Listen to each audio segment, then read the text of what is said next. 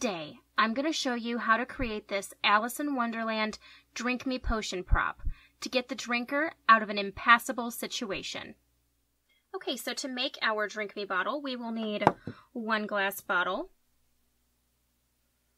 some styling gel, and I like to get mine at the dollar store. The cheaper the better usually. Um, you just want something that's nice and thick and inexpensive. One large plastic cup, one small plastic cup, and a spoon for mixing, a disposable piping bag, some E6000 glue,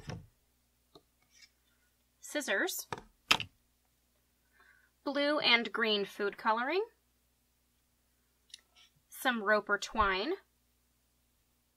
and a tag printed on colored paper. I chose a pink iridescent paper, and then it's printed with a deep red ink, similar to the kind from the animated Alice in Wonderland, and then I've punched two holes in it.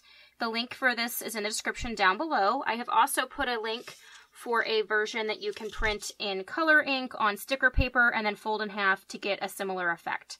Let's get started. Okay, so the first thing we're going to do is take our small plastic cup and we are going to add a little bit of styling gel to it and our blue and green food coloring to come up with a teal color.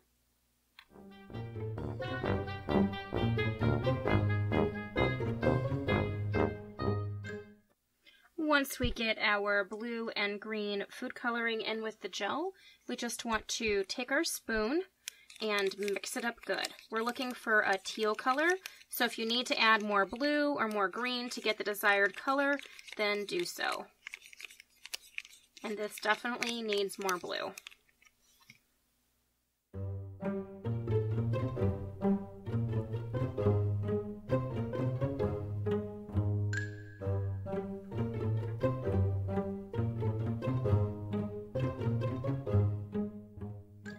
Okay, so now that I have mixed a dark teal color, I'm now going to use my other cup to fill it up with a larger amount of the clear gel, and then we're going to add small amounts of this to get our perfect light teal color.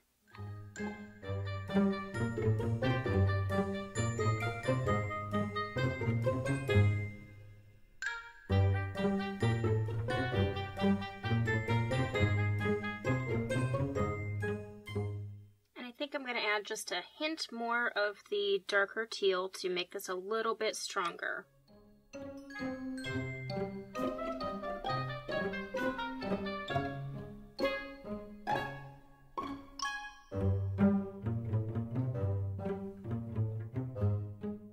Okay, so once we get our gel to the color that we would like, then we can add it to a piping bag and we're going to get it in our bottle. Okay, so now I'm going to take an empty cup and our disposable piping bag, and we are just going to put the piping bag in the cup, and then we are going to put the edges over the edge of the cup so that it helps us fill it. Like this. And once we get our piping bag over the cup, then we can take our gel and add it into the piping bag. So I feel like I use piping bags in a lot of um, projects I do, especially with chocolates and things. So I have no idea why I didn't think about this sooner.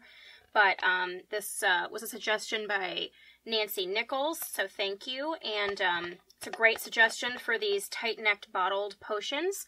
So I'm just going to add the gel to the piping bag, or you could use a Ziploc baggie if you don't have um, any piping bags handy and just put your gel in there and it'll make it so that it's easier to fill those tight neck bottles. Okay, so once we've filled this up, we can take the piping bag off of the plastic cup. And then shake the gel to the bottom. And we will be able to cut the end and put it right into our bottle to fill it up. Okay, so the next thing we're going to do is take our bottle and we're just going to uncork it and then we're going to take our piping bag that I slit the end of it off and we are just going to put it into the bottle and we are going to fill it up and we don't have to worry about a funnel or getting into the neck of the bottle or anything like that.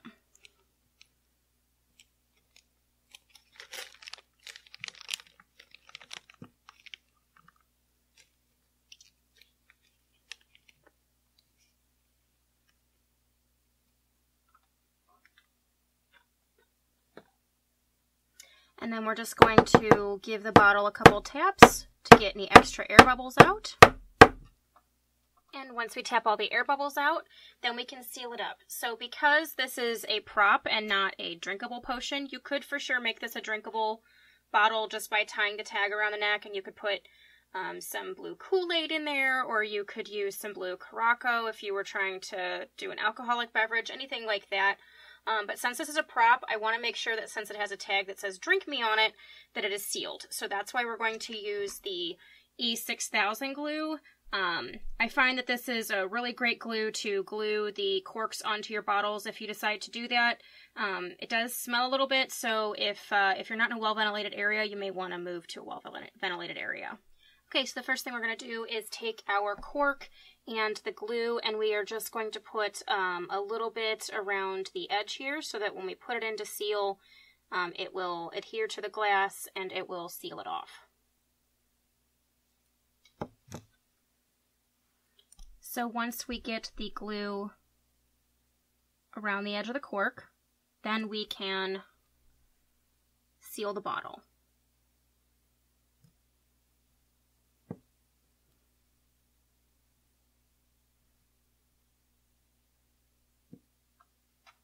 Okay, so once we have sealed our cork on, then we're going to take some of our string or twine, and I decided to do a pink and white um, string just because I thought it would give a very nice Alice in Wonderland feel and it uh, matches the tag very nicely, as you can see. So we're just going to take the string and we are going to just do an overhand knot to seal it close to the bottle.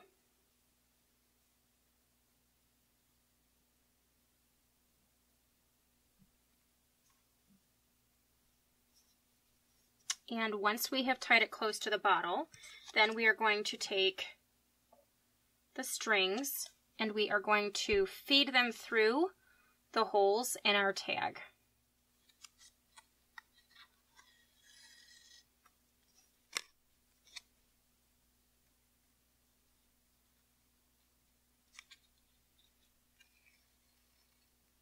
And once we feed both sides through the holes, we're then just going to put the tag close to the bottle and we are going to tie a bow.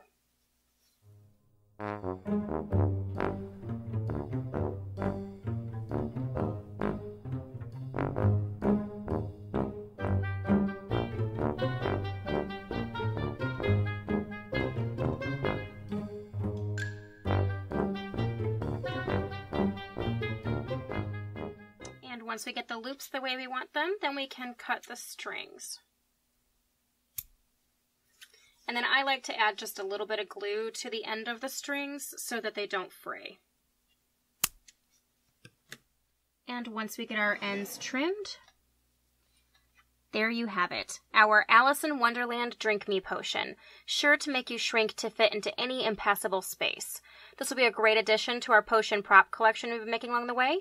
So if you like this video, give me the thumbs up. If you haven't subscribed, please do so, and we will catch you guys later. Thanks so much.